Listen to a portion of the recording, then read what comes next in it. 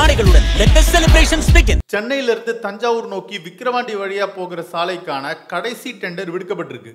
ஆறு ஆண்டு தாமதத்துக்கு அப்புறமா இறுதி டெண்டர் விடப்பட்டிருக்கு. இதனால சீக்கிரமா அங்க வேலைகள் முடியும்னு எதிர்பார்க்கப்படுது. இத்தனை ஆண்டு காலமா அந்த சாலையுடைய லேன் மாறி மாறி மாறி பல பேர் பயணம் செஞ்சுட்டு இருப்பாங்க. இந்தியாவில் இருக்கிற மோசமான சாலைகளில் லிஸ்ட் எடுத்தா இது கன்ஃபார்மாக இருக்கும். அந்தளவுக்கு பராமரிப்பே இல்லாத ஒரு சாலையை தான் பார்க்கப்பட்டுச்சு. இப்போ அந்த கொடூரத்துக்கு முடிவு கட்டப்பட இருக்கு. மத்திய சாலை போக்குவரத்து மற்றும் நெடுஞ்சாலைத்துறை அமைச்சரான நிதின் கட்கரி மேற்கொண்ட ஆய்வுக்கு அப்புறமா இங்க பணிகள் தீவிரம் அடையும் அப்படின்னு எதிர்பார்க்கப்படுது. நீண்ட காலமா முடிக்கப்படாமல் இருந்த விக்கிரவாண்டி கும்பகோணம் தஞ்சாவூர் தேசிய நெடுஞ்சாலை கட்டுமானத்தை நிதின் கட்கரி ஆய்வு செஞ்சாரு. இதன் மூலமா இது கவனத்தை ஈர்த்திருக்கு. இந்த திட்டம் டெல்டா பகுதிக்கான ஒரு முக்கியமான உள்கட்டமைப்பு வளர்ச்சியை கொடுக்கும். விழுப்புரம் கடலூர் அரியலூர் திருவாரூர் தஞ்சாவூர் மாவட்டங்களுடைய வளர்ச்சிக்கு இது ஒரு முக்கியமான வழித்தடமாக அமைய போகுது ஆக்சுவலாக ரெண்டாயிரத்தி இருபதாவது வருஷம் செப்டம்பருக்குள்ளேயே இந்த திட்டத்தை முடிக்க பிளான் பண்ணாங்க. ஆனால் இப்போ வரைக்கும் இது முடிக்கப்படலை. அதுக்கு முக்கியமான காரணம் இருக்குது முதல் விஷயம் கஜா புயல் வந்துச்சு. அதுக்கப்புறமா கோவிட் நைன்டீனால் பணிகள்லாம் தாமதமாச்சு. இது எல்லாத்தோட ஒரு முக்கியமான விஷயம். நிதி ஒதுக்குறதுலையும் தாமதம் ஏற்பட்டுச்சு. இப்படி பல காரணங்களால் முழு திட்டமும் தாமதமாச்சு. இதை மத்திய அரசே ஒத்துக்கிட்டாங்க. முக்கியமாக நிலம் கையகப்படுத்துறதுலையும் ஏற்பட்ட தாமதம் இந்த சாலை அமைக்கிறதுல சிக்கல் ஏற்படுத்திச்சு. தஞ்சாவூர் டு சோழப்புரம் மற்றும் சோழப்புரம் டு சேத்தியாத்தோப்பு வரையிலான திட்டத்துடைய ரெண்டு தொகுப்புகளில் சுமார் தொண்ணூத்தஞ்சு சதவீத பணிகள் நிறைவடைஞ்சிருக்கு.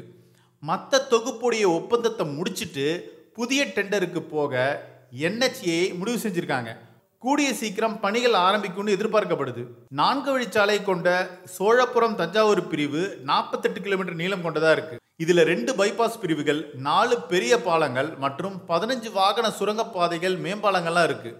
சேத்தியாத்தோப்பு சோழப்புரம் பிரிவு சுமார் ஐம்பது கிலோமீட்டர் தூரத்துக்கு இயங்குது. இதுல மூணு புறவழிச்சாலைகள் நாலு பெரிய பாலங்கள் மற்றும் இருபது வெஹிக்கிள் அண்டர்பாஸ் மேம்பாலங்கள் இருக்கு. அமைச்சருடைய ஆய்வும் திட்டம் பற்றியான உறுதிமொழியும் கும்பகோணம் மக்களிடையே நம்பிக்கை ஏற்படுத்தியிருக்கு. இத்தனை நாள் இந்த திட்டம் ஆம வேகத்தில் போயிட்டு இருந்தது இப்போ இந்த திட்டத்தை தான் அமைச்சர் நேரில் ஆய்வு செஞ்சாரு. அதனால் அந்த பகுதி மக்களுக்கு நம்பிக்கை வந்திருக்கு.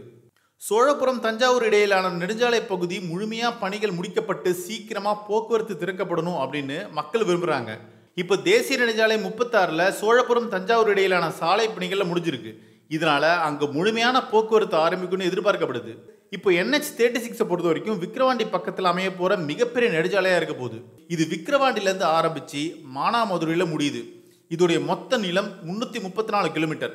பன்ருட்டி வடலூர் அணக்கரை கும்பகோணம் தஞ்சாவூர் புதுக்கோட்டை திருப்பத்தூர் சிவகங்கை வழியாக இந்த நெடுஞ்சாலை போகுது. இப்படி பல முக்கிய நகரங்களை இது இணைக்குது. இந்த பாதையை பொறுத்த வரைக்கும் மாவட்டங்களுக்கு இடையான போக்குவரத்துக்கு ரொம்ப தேவையாக அமைய போகுது. ஸோ ஒரு வழியாக இந்த விக்ரவாண்டி சாலை பிரச்சனைக்கு ஒரு தீர்வு கிடைக்க போகுது. ஸோ இந்த விக்ரவாண்டி நெடுஞ்சாலை பற்றி உங்களுடைய கருத்து என்ன? அதில் நீங்கள் பயணம் செஞ்சுருந்தீங்கன்னா அந்த அனுபவத்தை அப்படியே ஷேர் பண்ணுங்கள் இன்னும் எந்த மாதிரியான மாற்றங்கள்லாம் ஹைவேல கொண்டு வரலாம் அப்படின்னு கமெண்ட் செக்ஷனில் சொல்லுங்கள் இது ஒன் இண்டியாவுக்காக ஆனந்தன்.